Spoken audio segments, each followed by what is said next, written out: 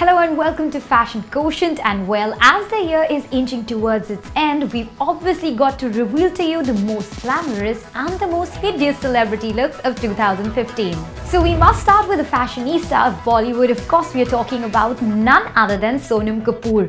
Well you remember that one major faux pas she made this year that got her criticism from the world over. Yes we can't deny that she did end up looking like a moss herself in that dress but her top look, it clearly made up for that error. Now you saw that resplendent ruffle sari and well that blouse, it has unmatched style. It's now time to take a look at Aishwarya Rai's best and worst look.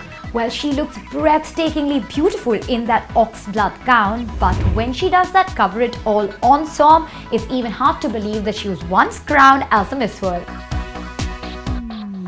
It's time for Priyanka Chopra to go under the scanner. Now, some people might really call it guts when she wears that hood gown, but in our opinion, it's a clear blunder. Now, you neither look like a cute kid, neither like a steaming hot diva, so what's the point really?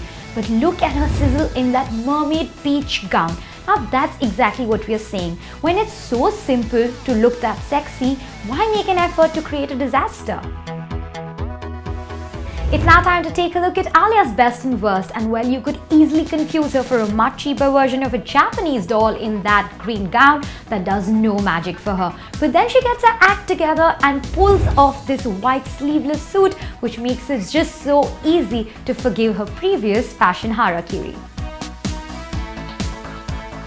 It's now time to talk about Nargis Fakhri. Well, just look at her hair. It is like a bird's nest. You could show love for those beings in several other forms, but this look is purely criminal.